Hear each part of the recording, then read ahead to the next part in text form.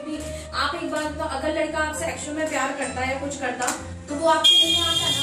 आता स्टेशन पे पुलिस वगैरह का कोई का डर नहीं रहता। सर, मेरा नाम दीपा शर्मा है। मैं चाइल्ड हेल्पलाइन में एज अ काउंसलर की पोस्ट पर हूँ। आ, कल हमारी child helpline toll free number 1098 पर एक सूचना प्राप्त हुई जिसमें गंज वासुदा से एक शिकायतकर्ता का कॉल आया जिसने बताया कि उनको एक बालिका मिली है जिसकी उम्र करीब पंद्रह सोलह साल बताई गई थी। तब हमारी बालिका के संबंध में जानकारी हमने ली। उसके बाद हमने कल रात में बालिका को गंज वासुदा में रुकवाया। उसके बाद आज हमारी चाइल्ड लाइन टीम एवं access to justice Kailash Satyarthi children foundation की टीम गंज वासुदा गए।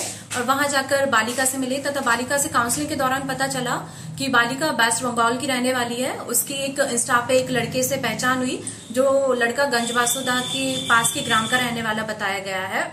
एवं बालिका उससे प्रेम करती है और बालिका को उससे विवाह करना है। इस दौरान वह अपने वेस्ट बंगाल से भागकर यहाँ विदिशा आई है और फिर आगे आज हम बालिका को यहाँ विदिशा लेकर आए हैं।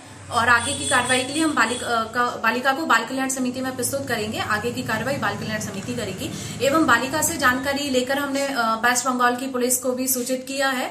जहाँ पता चला है कि बालिका की मिसिंग रिपोर्ट है तो हमारी वेस्ट बंगाल की पुलिस से भी हम लोग कंटिन्यू कांटेक्ट में बने हुए हैं और हम लोग उनसे जानकारी ले रहे हैं। तथा उनको भी बोला है कि जो भी जानकारी आगे की उनको मिलती है तो हमें इन्फॉर्म करें।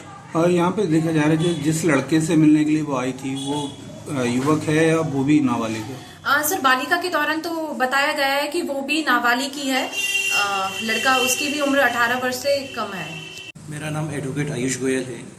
अभी हाल ही में हमारे पास एक कॉल आया था 1098 चाइल्ड लाइन पे कि वेस्ट बंगाल से एक बच्ची जो कि 18 साल से कम की है लगभग उसकी 16-17 साल एज है उसकी फ्रेंडशिप एक त्रिंदा के पास में एक बच्चे के साथ हुई है, उसकी दोस्ती हुई।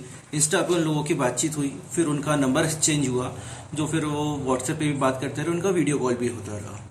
और वो दो दिन पहले वेस्ट बंगाल से अपने घर वालों को बिना बताए कुछ ज्वेलरी लेके वहाँ से निकली। और वो जब यहाँ आई, तब हमें पता चला एक कॉलर के थ्रू कि भाई वो उधर से भाग के आई है। और जब हमने इसकी पूरी जानकारी ली, तब ये पूरा मामला सामने आया। मेन चीज़ ये है कि आजकल सारी चीज़ ऑनलाइन होती जा रही है, पढ़ाई सारी ऑनलाइन होती जा रही है। माँ बाप को मजबूरी हो गया है कोरोना के टाइम से अपने बच्चों को मोबाइल देना। लेकिन मोबाइल का जितना यूज़ नहीं हो पा रहा है, उससे ज़्यादा उसका मिसयूज हो रहा है। आज मुख्यतः इस चीज़ के ऊपर गौर करने वाली बात है कि माँ बाप को इस चीज़ पे ध्यान देना चाहिए कि उनका बच्चा यदि मोबाइल यूज़ कर रहा है तो वो किस चीज़ के लिए यूज़ कर रहा है, उनको टाइम टू टाइम उसकी हिस्ट्री चेक करनी चाहिए। यदि वो इंस्टाग्राम चला रहा है तो आप उनके मैसेजेस चेक करिए। सबसे मेन चीज़ तो उनको इंस्टाग्राम या फेसबुक चलाने से ही रोकना चाहिए, क्योंकि आज उसका इतना बढ़ के सारी चीज़ें हो चुकी हैं। बहुत सी चीज़ें, बहुत सी बार ये होता है कि व्हाट्सएप पे जब वीडियो कॉल होते हैं और वो अलग तरीके से बात करते हैं और उसकी कॉल रिकॉर्डिंग करते हैं तो उसकी स्क्रीन रिकॉर्डिंग करते हैं और फिर उसका मिसयूज करके, उन फ़ोटोज़ का मिसयूज करके वायरल किया जाता है और बच्ची हो, चाहे बच्चा हो, बच्चे को भी नहीं पता होता है कि वो किस स्थिति में जा रहा है, किस जगह जा रहा है और वो अनजानिए में ही क्राइम कमिट कर ले रहा है। इन लोगों को इस चीज़ के बारे में पता होना बहुत ज़्यादा ज़रूरी है आज के